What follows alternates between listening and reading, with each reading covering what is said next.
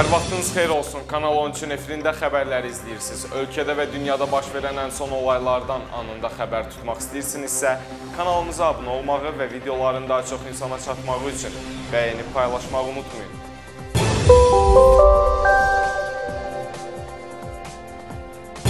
Bir neçə gün öncə Dövlət Təhlükəsizlik Xidməti tərəfindən saxlanılan İmişli rayon İcra Hakimiyyətinin icra başçısı William Hacıyevin həbsinin görüntüləri yayıldı.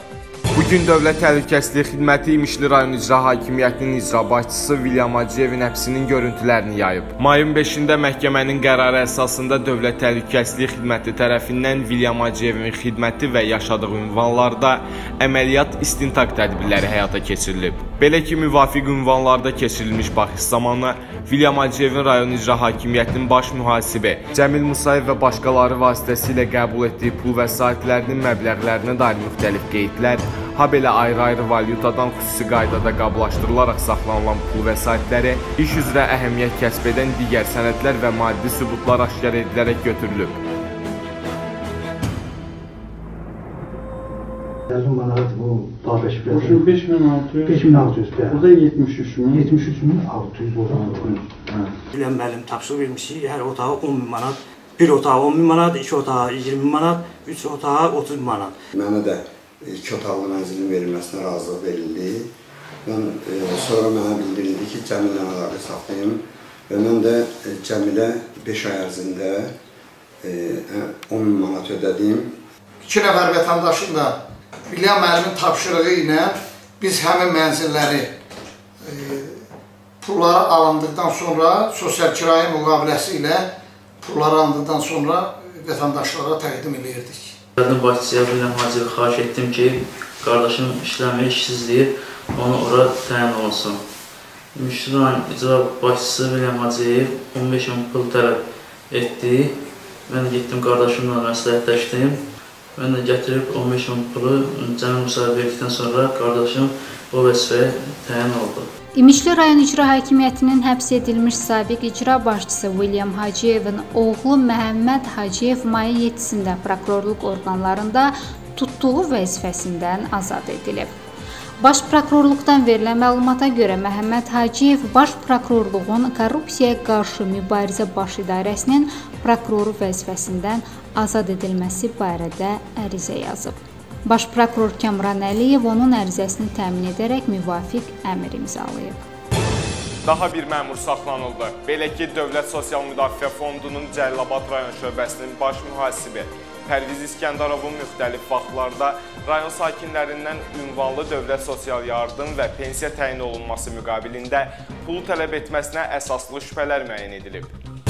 Baş prokurorluq və Əmək və Əhalinin Sosial Müdafiəsi Nazirliyindən verilən məlumatda keçirilmiş istintaq əməliyyat tədbirləri nəticəsində Dövlət Sosial Müdafiə Fondunun Cəlilabad rayon şöbəsinin baş mühasibi Pərviz İskəndərovun müxtəlif vaxtlarda rayon sakinlərindən ünvanlı dövlət sosial yardım və pensiya təyin olunması müqabilində 3700 manat məbləğində pul tələb etməsinə əsaslı şübhələr müəyyən edildiyi bildirilir. Faktla bağlı baş prokuror yanında korrupsiya qarşı mübarizə baş idarəsində Cinayət Məcəlləsinin 311.3.2-ci təkrar rüşvət alma maddəsi ilə cinayət işi başlanıb. Həmin cinayət əməlinin Pərviz İskəndərov tərəfindən törədilməsinə şübhələr üçün əsaslar müəyyən edildiyindən o, şübhəli şəxs qismində tutularaq istintaqa cəlb olunub. Hazırda cinayət işi üzrə qeyd olunan qanunsuz halların hər tərəfli araşdırmaqla təqsirli şəxslərin və qanuni mənafeləri pozulmuş vətəndaşların dairəsinin tam müəyyənləşdirilməsi, habelə vurulmuş ziyanın ödənilməsinin təmin olunması istiqamətində baş prokuror yanında korrupsiya qarşı mübarizə baş idarəsində zəruri istintaq əməliyyat tədbirləri davam etdirilir. Bu gün Azərbaycanda 77 yeni koronavirus infeksiyasına yoluxma faktı qeydə alınıb. 15 nəfər isə müalicə olunaraq sağalıb. Nazirlər Kabineti yanında operativ qərargahın məlumatına görə hazırki dövrədək ölkəmizdə 2204 nəfərin koronavirus infeksiyasına yoluxması faktı müəyyən edilib. Onlardan 1551 nəfər müalicə olunaraq sağalıb, 28 nəfər vəfat edib. 625 nəfərin xüsusi rejimli xəstəxanalarda müalicəsi davam etdirilir. Həmin şəxslərdən 25 nəfərin vəziyyəti ağır, 33 nəfərin vəziyyəti orta ağır qiymətləndirilir. Digərlərinin səhhəti stabildir. Ötən müddət ərzində yeni yoluxma hallarının müəyyənləşdirilməsi ilə əlaqədar 175910 test aparılıb. Bağlanan bankların xilası üçün ümumilikdə 660 milyon manat tələb olunur. Bu sözləri iqtisadçı ekspert Samir Əliyev Mərkəzi Bankın rəhbəri Elman Rüstəmovun bağlanan banklarla bağlı fikirlərini şərh edərkən səsləndirib. Mərkəzi Bankın rəhbəri Elman Rüstəmov mətbuat açıqlamasında fəaliyyəti dayandırılan 4 bankın hamısının kapitalının mənfi olduğunu bildirdi.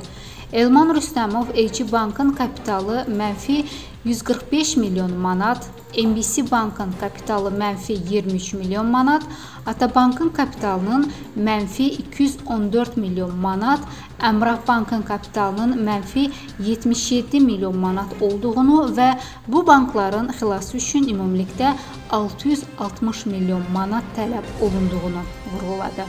Bankların aşılmalarına gəldikdə isə 2019-cu ilin sonuna Atabankın istisna olmaqla digər 3 bank kapitalları barədə məlumatları açıqlayıb. Ötən ilin sonuna MBC Bank 58,3 milyon manat, AG Bank 48,9 milyon manat, Amrah Bank 11,5 milyon manat məbləğində kapitala malik olub.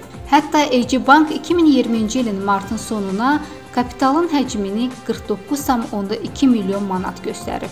İndi isə cəmi bir neçə aya bankların hamısında kapital mənfiyə düşdüyü məlum olub. İslandiya faktiki olaraq koronavirus pandemiyasını aradan qaldırıb. Bu barədə isə yerli hökumət orqanları məlumat verib. Belə ki, ölkə rəsmiləri koronavirusa yoluxmuş xəstələrin 97%-nin artıq sağaldığını qeyd edib. İslandiya hökumətinin bəyanatında indiyə qədər 1799 nəfərin COVID-19 testinin müsbət olduğu, 1750 nəfərin sağaldığı, 10 nəfərin isə dünyasının dəyişdiyi bildirilir. Hal-hazırda ölkədə koronavirus infeksiyasına 39 yoluxma var. Xəstəxanalarda isə cəmi 3 pasiyent qalır.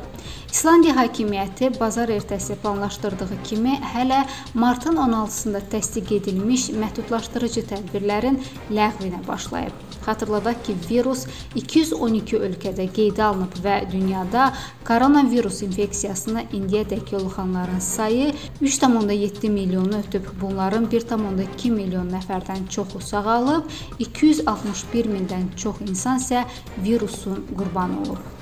Sağ olun, daim yenilənən kanalımızı izləməyi unutmayın.